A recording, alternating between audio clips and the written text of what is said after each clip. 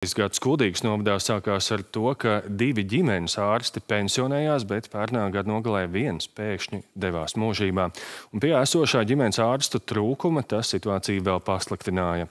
Vairākiem tūkstošiem iedzīvotāji bija jāmeklē cits ģimenes ārsts, bet arī citi jau ir noslogoti un līdz viņiem jāmēro daudz garāks ceļš. Šāda situācija ir daudziet reģionos. Ārsti noveco, bet jaunie vairāk dot priekšroku Rīgai un tās pierobežas novadiem. Kā situāciju uzlabot, skaidroja Ieva Benefelde no Skrundas televīzijas. Ģimenes ārsta darbības pārtraukšanas dēļ doktorāts slēgts uz nenoteiktu laiku. Tāds uzraksts nu ir pie mūžībā aizgājušā ģimenes ārsta prakses durvīm ēdolē. Te ir palicis viss, kā ārstam pēdējo reizi izējot pa durvīm, bet telpas atrodas otrajā stāvā un te atverot jaunu praksi, jānodrošina piekļuvi cilvēkiem ar kustību traucējumiem.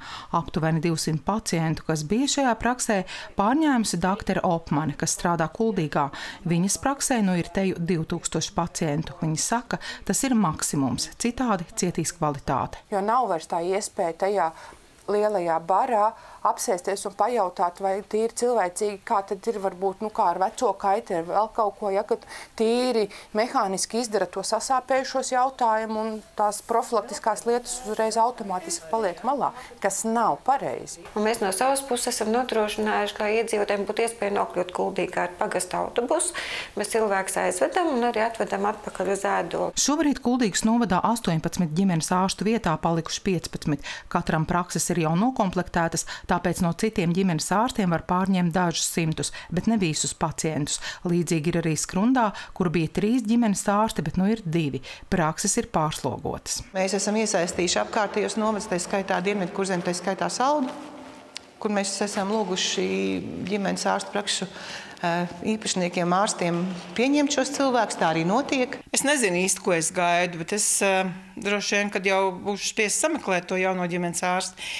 Bet uh, Manuprāt, ka būtu ļoti labi, un es būtu priecīga par to, ka ģimenes ārsts būtu šeit uz vietas skrundā. Man tas patiešām ir svarīgi. Es nestrādāju tikai skrundā, es arī braucu uz darbu, un uh, man tas ģimenes ārsts ir svarīgs, regulāri apmeklēt. Tad man ir jākavē vesela darba diena, lai es, teiksim, aizbrauktu pie savu ģimenes ārstu. Šobrīd Latvijā ir 1220 ģimenes ārstu, no tiem 439 ir vecumā no 64 gadiem.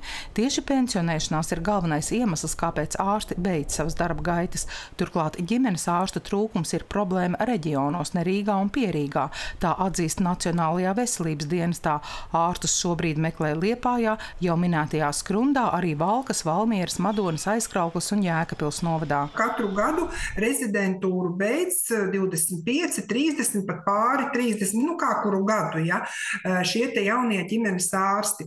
Vai tas ir nepietiekoši? Varbūt pat nav nepietiekoši, jo īstenībā mums jau ir jaunajiem visiem jānodrošina vietu. Eh, cita lieta ir, eh, kāpēc jaunie ārsti nevēlas doties strādāt uz reģionu. Lai kļūtu par ģimenes ārstu, jāmācās ir deviņi gadi. Tajā laikā nevienam vien jau ir izveidota ģimene. Jaunie ārsti ir iesakņojušies tuvāk studiju vietai. Darbs ir arī ārsta otrajai pusītei.